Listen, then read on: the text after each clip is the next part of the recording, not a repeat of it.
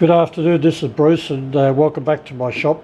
We're on the uh, continuation of the backstay build for the horizontal borer. Um, we've uh, made the plate and uh, we've fitted it up and I'm, I've machined two pieces of 4140 chrome um, bar and bolted them in and they're ready to take the top section and then we're going to have the block that's going to move up and down with a with a thread arrangement uh, and the and the bearing and the bearing or bush for the um, horizontal boring. So we're, we're busy at the moment making up the um, making up the block uh, and that's brought us into some interesting concepts as well. Uh, here's the block, it's a 90 by 90 millimeter square. Um, now what we did was we pilot drilled and drilled with my 38 mil drill bit in the in the in the mill uh, with the Morse 4 um, and then I come along with a with a 42 mil um, 42 mil rotor broach and I broached down to the full depth of the uh, of the unit. And what I what I want to do Actually, we'll swing back over this way again. What I want to do is to fit these bushes. These are uh, oilless bushes and I want to fit two of those on the block and so that I don't, we won't have to worry about um, uh, ease, ease of movement up and down of the block. So those two together, um, if we put them in the block, it's nearly the full, the full depth um, nearly the full depth of the block, almost. So the rotor broach is only a 50 mil uh, broach and, and when you get to the top end here, um, when you're getting to the full depth of the cut, this is a 50 mil cut, so um, uh, classed as a 50 mil, so your 50 mil stops at, the, at that point. Here, um, you, you got much less for the swarf to get out. So the likelihood of a jamming is quite large. The thing is though that the, the biggest problem with rotor broaches is that they jam on the inside because there's nowhere for the swarf to clear. Uh, so what I've done is uh, I actually bored those two uh, with the rotor broach um, in the ER40 collet. And then I thought, well, how am I going to get more depth here?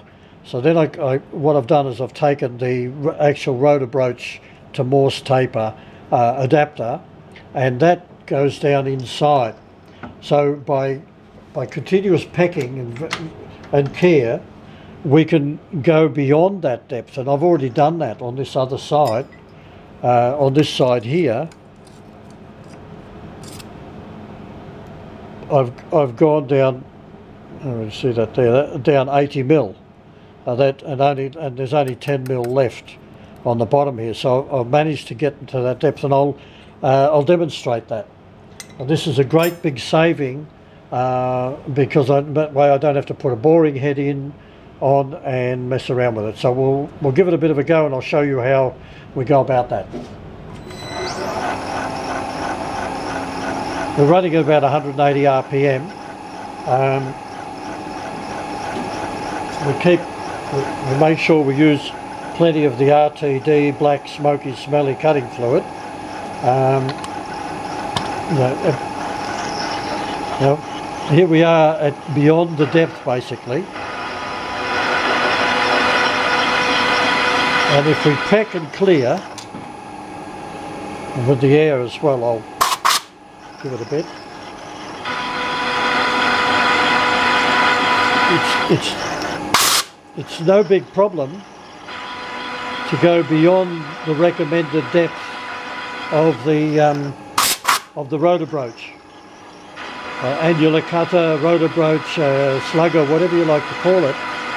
And you can see here how that is making life very easy for me. Um, and all we have to do is, is feel it and make sure it doesn't bind. And by doing so, I'm able to go far deeper than normal. But of course, this will only work with, with a cutter that's larger than the the actual um, cutter holder. We'll give a bit more black smelly stuff. And the, the beauty of these, and I keep coming back to them all the time, the, beauty of these annular cutters is they, they take very, very little power to do an immense job. Of course, I couldn't do this, couldn't cut a slug out like this. Uh, there's just no way you'd go beyond the depth with with a slug because um, it can only it can only go to the maximum depth of of the unit itself, the internal.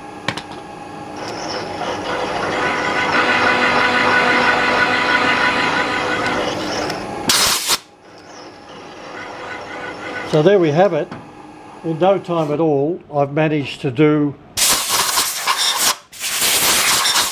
25 millimeters, another uh, inch of depth uh, with very, very little effort and saved me setting up the boring head and, and so forth. So I'll now be able to press those two bushes in uh, and that's that part of that job is done. But now the next stage is to drill out here where we're going to have the, the thread holding it. I've still got to work out that detail. And then in the front here will be the bush for the um, uh, for the for the bar for the boring bar to sit in, and then this whole thing will slide up and down um, on the uh, on this unit here. See you later.